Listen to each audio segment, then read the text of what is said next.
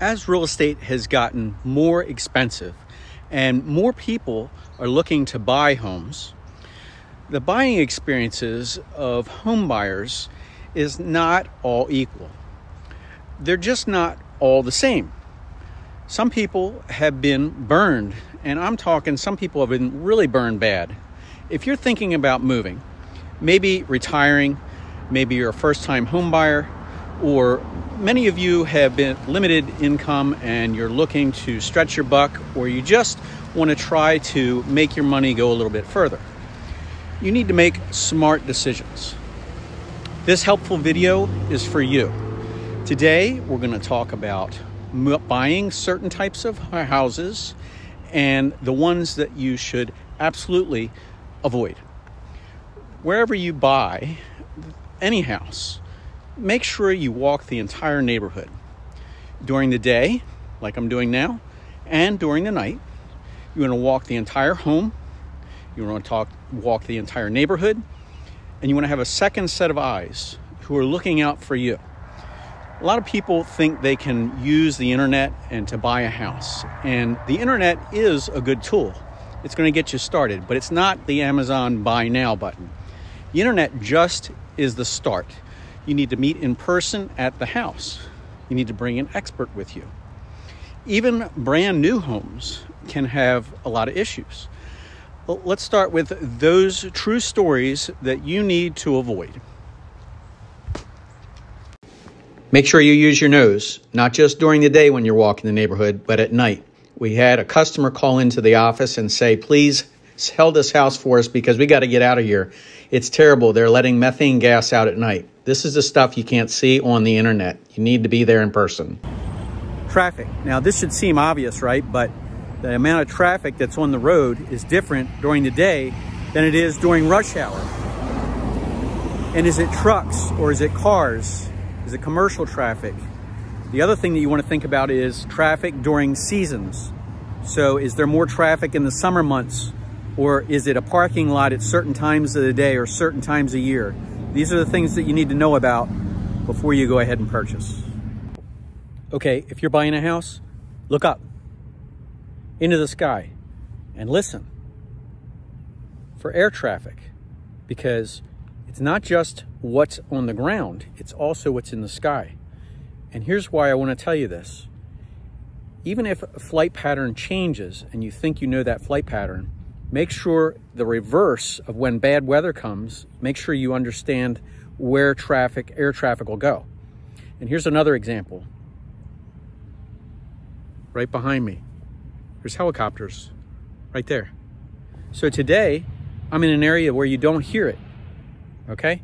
You don't hear the helicopter traffic. But a mile away from here, that neighborhood will hear the helicopter traffic. So make sure that you know the neighborhood, make sure that you know the area, if you live there already. And if you don't, and you're buying from out of town, somebody from, and you're, you're moving to a different area, make sure you're working with someone who does this every single day and knows the market inside and out because that's going to save you. So even if you're in a quiet area and you're buying a house, listen, again, listen to things like wind chimes. Is it coming from far away? When it changes direction, can you hear the wind chimes? Can you hear road traffic noise in the background?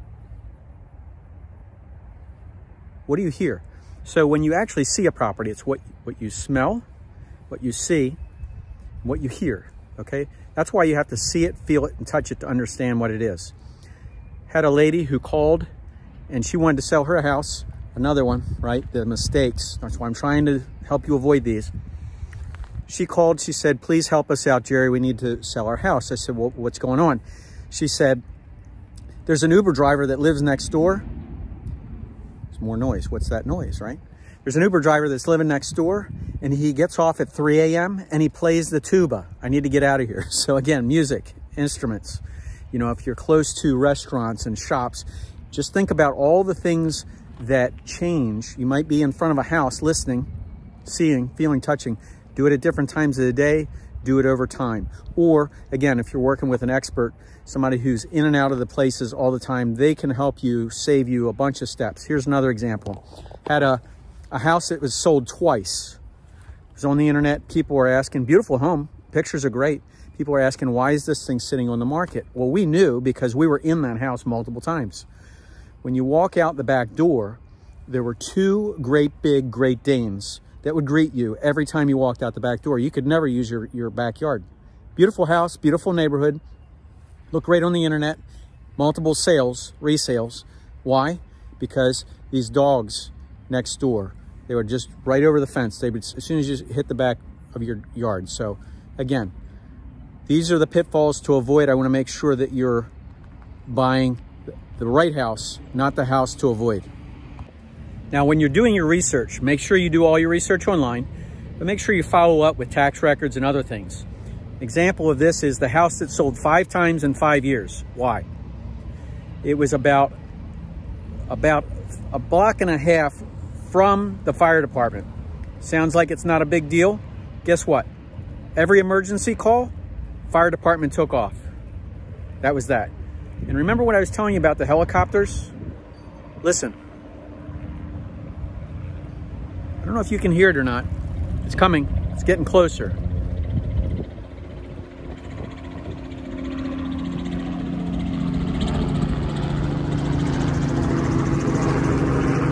Right? You don't want to be in a house that's upside down. Now, when you go to look at a house, make sure you have your glasses on, not your rose-colored glasses, but realize what's really going on around the area in that, not just the house, the area you know, go there when it's raining, not just on a sunny day. Because if you look here, look at where parts are low. Look at where high parts are, okay? And look at where water drains to because water is always gonna go into the low areas. So you wanna make sure it's not in a flood zone and you wanna make sure that your uh, where water will collect because if it has a retention pond, where's the outflow to it? You know, follow it along to where it actually goes because if this outflow doesn't go where you want it to go, you could be in trouble, right? It could back up and you got it right in your backyard. So again, make sure that you know flood zones. Make sure that you know different areas. Certain times of the year, certain things are going to get, you know, rainy season, that sort of thing. Your house could be high and dry and you're not in a flood zone, but coming to, like access to it. We know of communities, for instance, I'm give you this example. I'm taking my glasses off that where you can actually get in and out, not in a flood zone, but the roads coming into, you know, you're basically going to get flooded out because those roads get flood. So make sure that you know the area or, it, you know, the, the flood map, not just the property is in the flood map, but what's around it in the general area. Make sure you know that. Utility easements on a parcel or a property, on the land that you're building a house, or even on the property. And this one's pretty easy because it backs up to utilities, right? But some of them are not as easy because you got to actually go to the courthouse to look on the plat to see where it's recorded. Look for the dotted lines. Make sure you know this.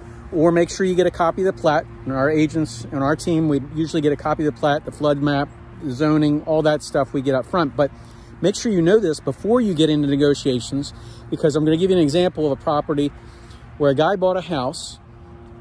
And this was a neighbor, it was our client, but a neighbor of his in the same neighborhood had to move his fence. He put up a fence in his backyard, fenced in his backyard, had his dogs, paid for that.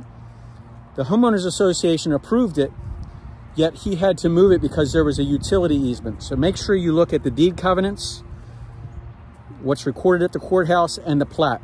You want to avoid those pitfalls. Those are the houses that you want to avoid. Now, a lot of people want to live off the grid, and I get that. They want to be away from people. I understand that. But do yourself a favor.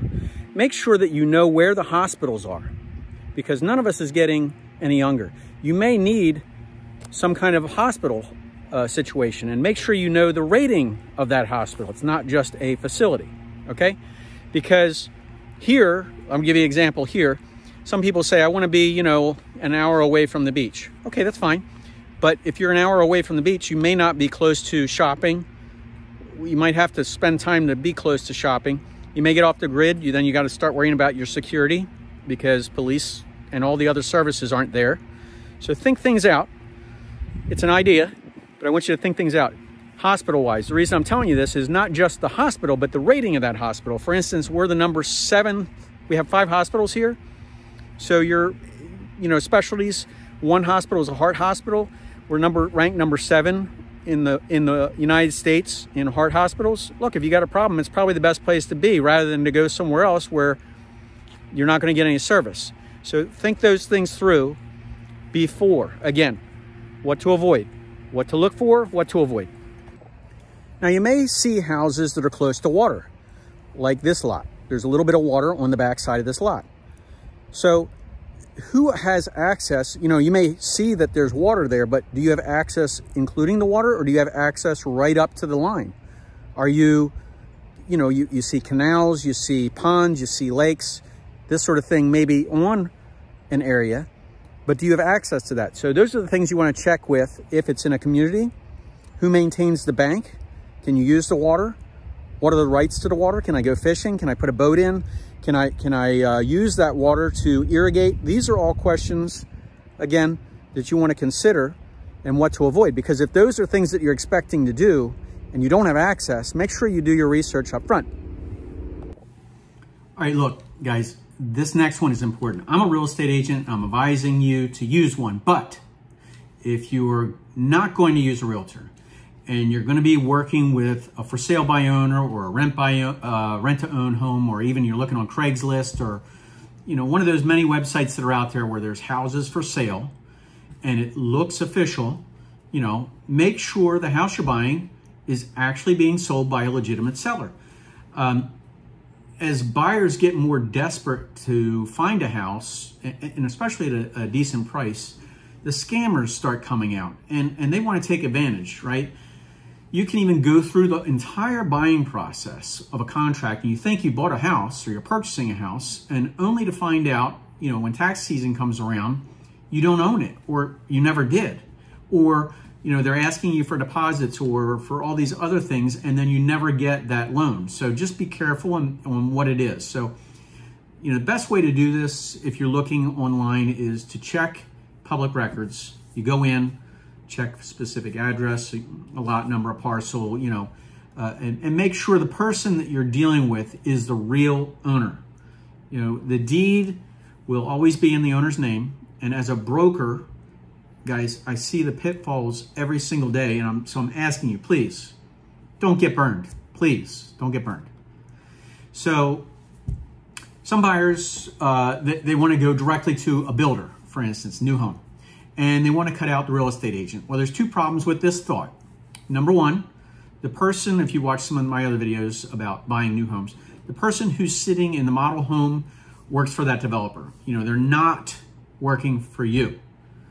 Uh, there's a small disclaimer, a small little sign somewhere in that office that's required for them to say that they're not working for, for you, that they're working for a developer, and what that actually means. Um, but you may not see it. And number two, here's the second thing every builder um, does not always say what they say they're going to do. You know, even the big ones. Um, and honestly, many unsuspecting buyers walk in, they'll plop down a big deposit, you know, wait for a house to be built, and it never happens. Uh, we, we, saw this guy, he came into our office because he had lost a deposit. Um, he had put his money down on a developer, uh, a builder, and he kept coming back month after month after month to see if his property, his house is there. He's got a lot uh, no work being done.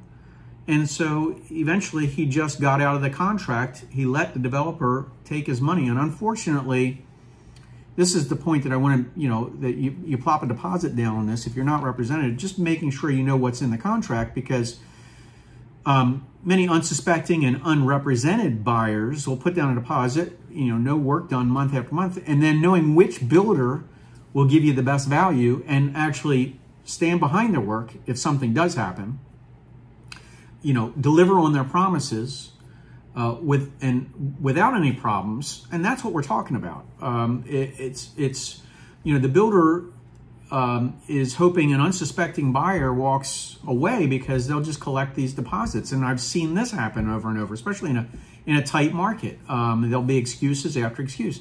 You know, if it's a non-refundable bill uh, deposit, the contract reads that they have two or more years to produce a home. So watch out. Uh, the devil's in the details. You know, recently we found out even that one of the big builders wasn't paying his help. Um, he had some issues there.